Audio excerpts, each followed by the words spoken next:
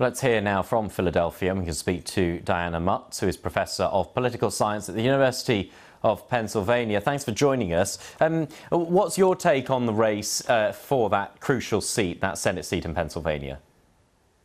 Um, everything we've seen suggests that it's way too close to call. It's within the margin of error in the polls that I've seen. And what's more, it's very difficult to do accurate polling during midterm election years because turnout is far less predictable than it is in presidential election years. So it's anybody's race at this point.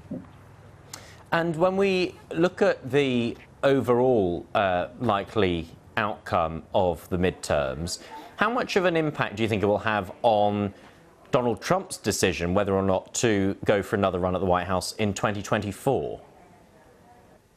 Well, I think the uh, assumption is that if people that Trump endorses do well, that means Trump will do well. That's of course not necessarily the case. There are states that are, you know, heavily Democrat or heavily Republican, so it really uh, doesn't matter too much. But there's a tendency immediately after the election to interpret it as a referendum on Trump. And um, I mean, I think that's inaccurate, but I know it's going to happen.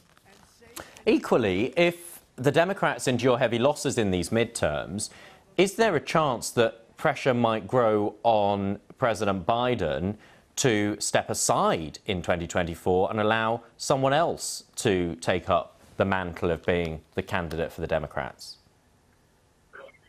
I think that's possible, but I don't think the result of the midterm would be what drives that. Um, and the reason for that is, you know, the, the party of the presidency always takes a drubbing in the midterm years.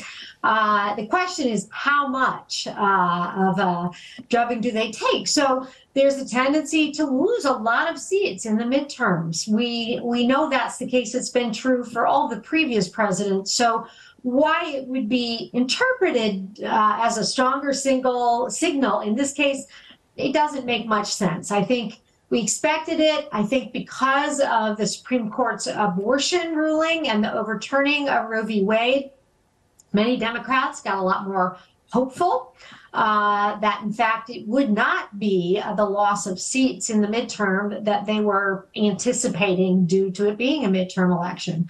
Um, that and inflation tend to be the things that people are really talking about the most. And given that the election here in Pennsylvania is so, so close, uh, you know, I, and the Senate in particular is going to be so, so close in terms of who has the majority that is just seen as extremely important in the last few days before the election. And there is a real acknowledgement that the economy will very much be at the forefront of people's minds as they approach these midterms, isn't there? And we had uh, measures, for example, the, the writing off of student debt recently, uh, among other things. Yes, I think it is. But what has happened in the United States that someone um, like me who studies poll results and perceptions of the economy, uh, what we've seen is that increasingly people's perceptions of the state of the economy are a function of their partisanship more than their partisanship is a function of their perceptions of the state of the economy. So people have ways of attributing responsibility to Trump's term in office as well as to Biden's, depending upon their predispositions in American elections, people vote a straight party line so often that we're talking about changing a very tiny number of minds. I mean, under 10% of voters are likely to actually flip from one party to another. Okay, Diana, thank you very much. Diana Mutz there, uh, Professor of Political Science at the University of Pennsylvania.